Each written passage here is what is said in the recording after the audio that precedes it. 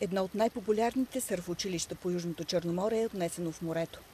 Георги, който разчиства отломките от наводнението, ни показва как е изглеждало мястото преди бедствието.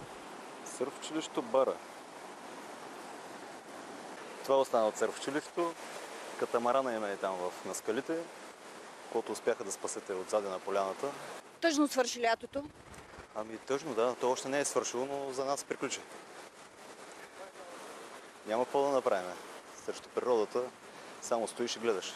Георги от казва, че такова бедствие не е виждал. Ще му помогнем да си го дигне наново. Кой с каквото може, кой с работа, кой с инструменти, кой с финансова помощ. Ще го направим. За следващия сезон ще е готово. Почистването на плажа на Нестинарка продължава и днес. Останалите малко туристи от съседните хотели, които не са се евакуирали, разказват за ужаса от потопа. Беше страшно общо. Взето ние го наблюдавахме през терасата. Просто реката дойде като вълна. Придойде на къщичките там, които са в другия край отпреде. Заля половината къщички първия ред и, и така. И от сърф училището постепенно беше се наклонило постепенно го отнесе морето и реката. Ми, ние бяхме наканили да идем на плаж, ама набързо свърши след потопа.